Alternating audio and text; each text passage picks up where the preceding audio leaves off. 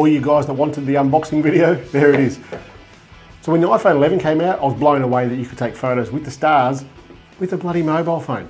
In this video, I'm going to teach you how to take photos of the stars with the iPhone 12 Pro Max. Bigger sensor, is it going to make a difference? Let's find out.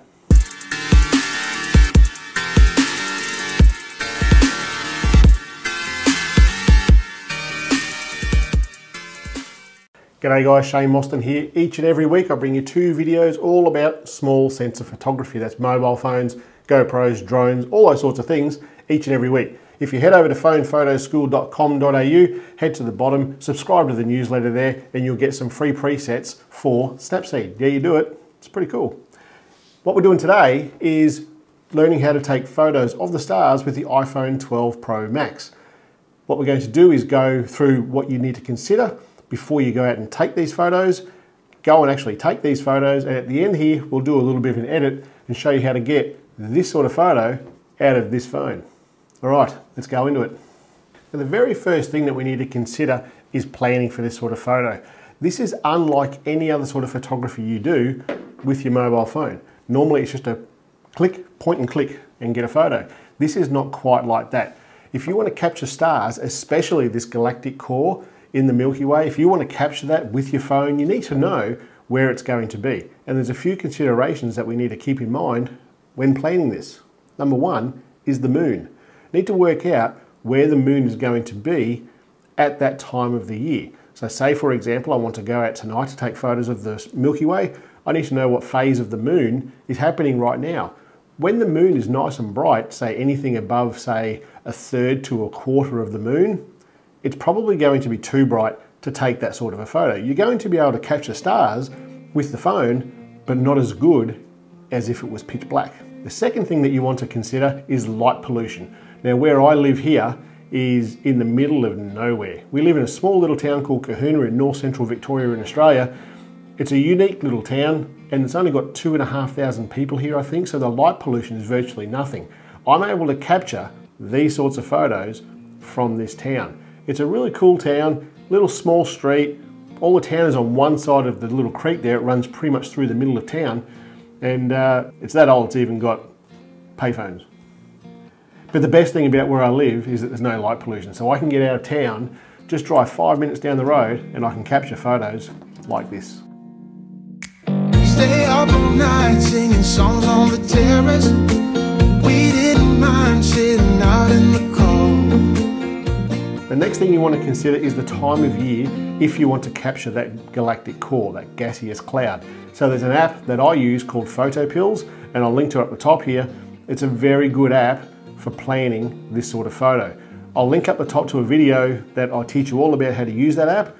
It's probably the best app that you can get for astrophotography. It's the best planning app for photography in general that I've ever seen. So once you're happy with the situation, with the weather, with the moon, with the light, and you've got a location in mind, the next thing we need to consider is the equipment that we need to take with us. Some of these photos take up to 30 seconds long and you cannot physically hold the phone still for that amount of time. Now when you go into night mode on the iPhone, you have got two options, or really there's three. The first option is handheld and the maximum you can shoot is 10 seconds handheld.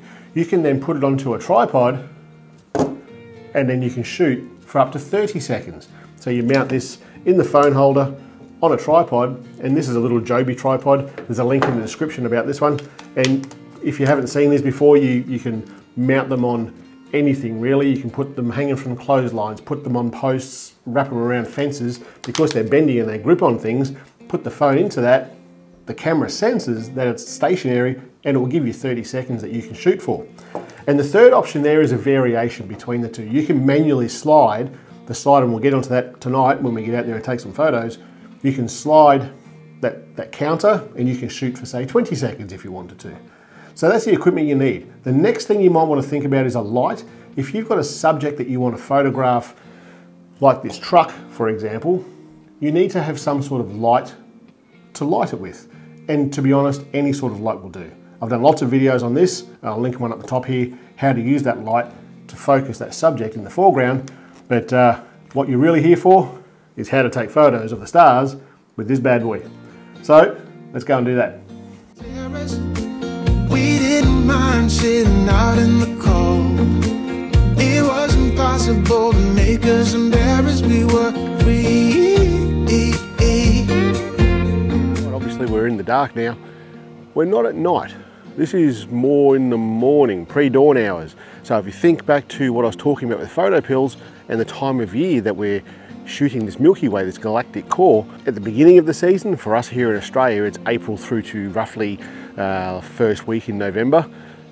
It starts out there on the western horizon, almost vertical, and then through the year at the same time of the night, it'll come over to the western side of the horizon and it'll be horizontal. Now though, at that time of night, at the beginning of the night, it's like below the horizon. So right now, it's actually out there in the south and it'll be the tail of that galactic core, that orange gaseous cloud. That's actually below the horizon now. So what we're going to see at the moment, and this is roughly four o'clock in the morning, thank me later, the galactic core is below the horizon, the tail of it will be sitting up the top here. So what I've got set up here now is the phone, it's on the tripod holder, I'm not using the, the Joby tripod at the moment. I'm using, this is a Manfrotto tripod. I'll link it down the bottom. I use this one here mainly for all of these sort of tutorials and reviews. So we've got the same phone holder. It's on a ball head and uh, we'll line up the shot and I'll show you how to take it. So when we're setting this up, what we're going to do is go into the camera and because it's dark enough here, you'll see that little yellow dot that's there, little yellow icon at the top there. You touch that, it'll give you the amount of time that you can shoot. That's the night mode. The little line down the bottom here on the side, that there you can say that you can adjust that higher or lower in the shutter speed. It'll give you the lowest, I think about five seconds. We'll go here, five seconds, that's right. And um, when we go to the top, it's a maximum of 30 seconds because we're on a tripod. Can't stress that enough. If it's not on a tripod, you're not going to get the full 30 seconds. I like to touch on a star and lock it on that star and once it's locked, that's where the focus is set. You can use that exposure adjustment, that little slider next to that box when you touch it to make it brighter or make it uh, uh, darker. And that is pretty much all I do. All right, we're lined up now and we're going to take a photo. So we'll touch out the side there, touch on a star, lock that onto the star, hit the night mode and go the full 30 seconds and let the photo be taken. It is amazing so far what I've seen with this, and I'll show you in a second. I actually recorded a little bit of video um, with this phone, and that's pretty amazing.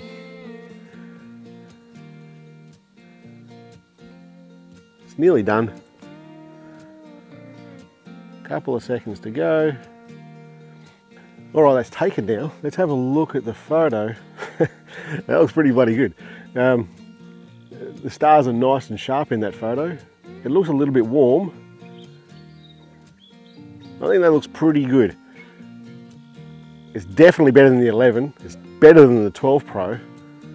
Is it 40%, 47% better than the 12 Pro? I don't know. It's good. I think it's worth doing. Um, it looks pretty, we'll have a look at this in the edit, but it looks nice and bright through the middle there. Probably more, more brighter than what I think it should be, but We'll have a look at that in a minute with the edit, but um, I think that, that looks pretty good. That's pretty impressive out of a phone. We'll do comparisons with other phones in another video, so make sure you subscribe to the channel. And uh, let's go and have a look at this photo in Lightroom on mobile, and I'll show you how I'll edit this photo. Let's get into that. So what we'll do, we'll put this photo into Lightroom on the iPad. I'll use the iPad so that you can see what I'm doing better. The tools are exactly the same on the iPad as what they are to the iPhone. But first, I saw this photo this morning, on the photo this morning when, when I took that. Um, there's a way here that I find south all the time, so I don't take a compass or anything with me um, to see what's going on. Can, you can use PhotoPills for it, but I will generally look for the stars and if you're not in the southern hemisphere, I don't know if you guys actually see the Southern Cross. I'm, I'm guessing that you don't. Um, so you can see this line here, that's the Southern Cross right there, and it's got the little other star off the side there. And you see that Southern Cross on the Australian flag. But what you can do down here, you've got these other two stars, and these two stars are called the two pointers. And if you draw, draw a line between these two pointers, and then perpendicular out like that, and then the top and the bottom star of the Southern Cross like this, where this intersects right there, if we drop that down straight to the horizon, that there is south. Kind of cool, huh? So anyway, that's your astral navigation out of the way. Let's put this into Lightroom now. We've got it in Lightroom and you can see here more so that it's really bright in the in the center of that photo and I'm not sure why that is. I've got a feel, I didn't see it on the 12. I definitely didn't see it on the 11. I'm seeing it on the 12 Pro Max and I took another photo, I'll show you here, and it did the same thing. So that's interesting observation. It's a um, maybe the way it's processing this internally in the phone is just a little bit different. But anyway, we'll deal with this editing now.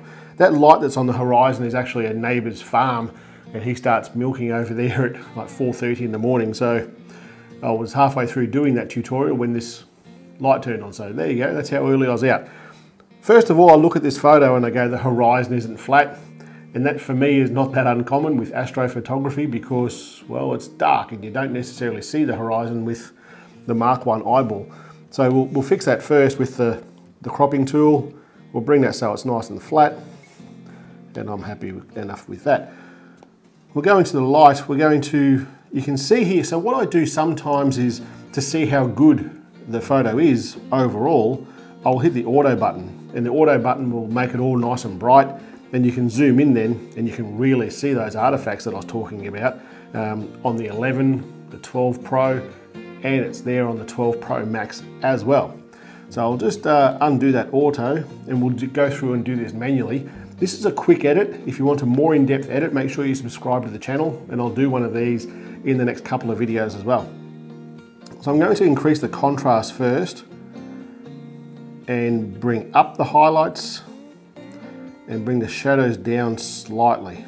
If we were lighting a subject in the foreground in this photo, I would probably increase the shadows, but we're not doing this in this occasion. We'll increase the blacks a little bit. Let's go down to the color, increase the temperature. It's already a reasonably warm photo, and I think that's because of this light that's on the horizon there. Um, I'm going to increase the temperature oh so slightly, and I'm going to increase the tint as well. I don't mind a bit of magenta in these edits. I think that works pretty well.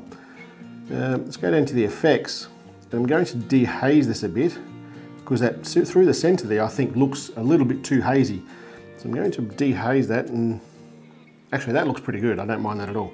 We'll bring the clarity up a little bit. That'll do for him.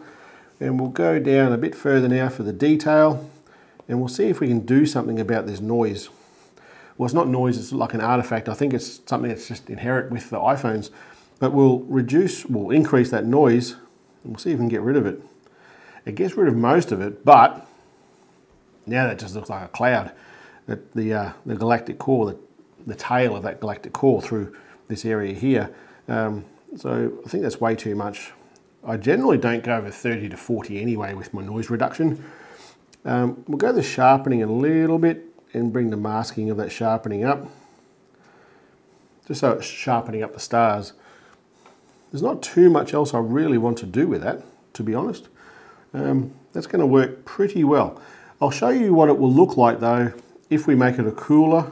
See, at the moment, we're almost into summer here. So that kind of makes sense to me to have it a bit warmer.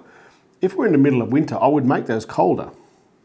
I don't know why, I just do and it tends to work. Um, but I'll leave that a little bit higher as it was. Maybe around five, eight. Yeah, that's pretty good like that. So as far as I'm concerned, that edit is done. I might actually, no, I won't even, if the galactic core was there, that gaseous cloud, I would certainly put a radial tool over that and increase the clarity of that.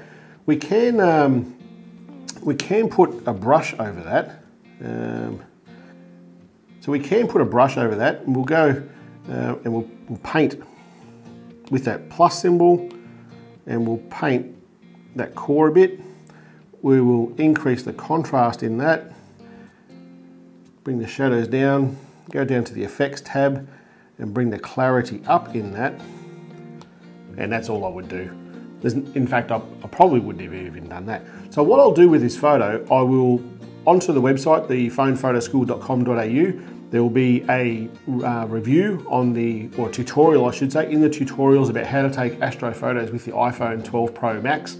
This photo, the edited photo, and the original photo will be in there for you to download and have a play with yourself. Um, all right, guys, I'll, I'll see you on Friday. Catch you later. When we were 17